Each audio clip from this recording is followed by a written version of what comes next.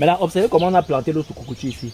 Vous voyez qu'on n'a pas enterré totalement la noix de coco. Vous voyez On a quasiment là les un tiers, n'est-ce pas, de la noix de coco qui sont à l'extérieur. Alors, on, ne doit pas enterrer la noix de coco. Pourquoi? Parce que si vous plantez vos cocotiers et vous enterrez, par exemple, jusqu'à ce niveau, c'est là.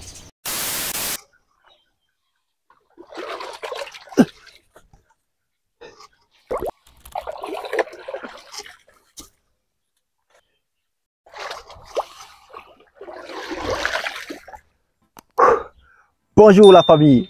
Alors aujourd'hui, nous allons planter un cocotier, n'est-ce pas, un cocotier nain qui fait exactement 3 ans pour produire. Alors là, je suis en train de retirer du sable, n'est-ce pas, et nous allons essayer de faire d'abord euh, une zone, nous allons essayer de surélever la zone, n'est-ce pas, sur laquelle nous allons planter notre cocotier parce, que comme vous pouvez l'observer, nous sommes dans une zone marécageuse et dans les années à venir, le lit de l'eau pourrait monter et inonder notre plan. Tout comme dans les années à venir, on pourrait faire des remblais et ça va donc faire en sorte que notre plan va se retrouver enterré. Donc c'est pourquoi on doit d'abord surélever, n'est-ce pas, la zone sur laquelle on va planter notre cocotier. Alors, ce sable-ci que je retire dans la rigole là, ou du moins dans la rivière, c'est un sable assez particulier dans la mesure où il est hyper fertilisé. C'est un sable hyper riche. Vous voyez derrière moi là, il y a beaucoup de maisons. Et bon, je vais parler doucement. Hein.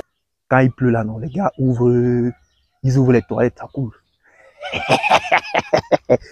Donc du coup, tous ces excréments qui coulent là, les déchets d'ordures ménagers, font en sorte que ce sable-ci est fertilisé et par conséquent, il est très riche en éléments nutritifs. Donc du coup, vous avez compris, non? Voilà, c'est un sable hyper fertilisé, voilà. Je pense que cette quantité-là va suffire. Donc, on va passer au planting proprement dit.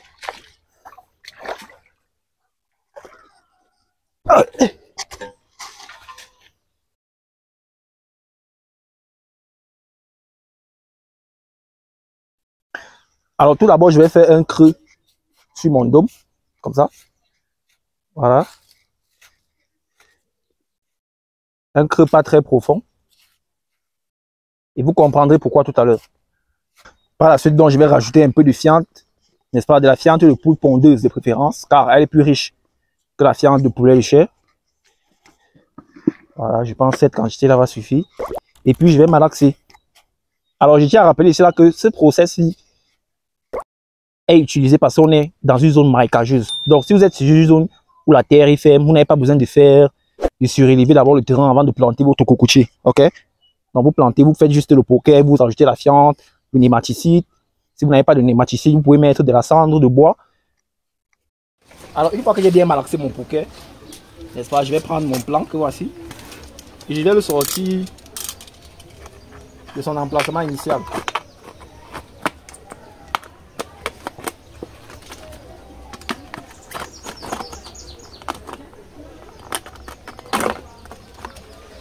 Je tiens à rappeler ici que tous ceux qui ont besoin des plans comme celui-là, les plans sont disponibles. Passez juste votre commande au numéro qui s'affiche juste à côté là. Voilà. Voilà notre plan de cocotier. Observez les racines en bas. Ouais, les racines. Regardez toutes ces belles racines. Voilà. Donc, à présent donc, je vais introduire, n'est-ce pas, mon plan dans son habitat final.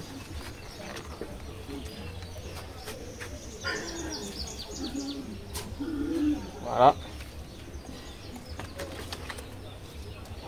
Comme ça, c'est bon. Voilà donc notre cocotier. Notre cocotier est donc en place. Et là, je vais refermer. Je vais refermer.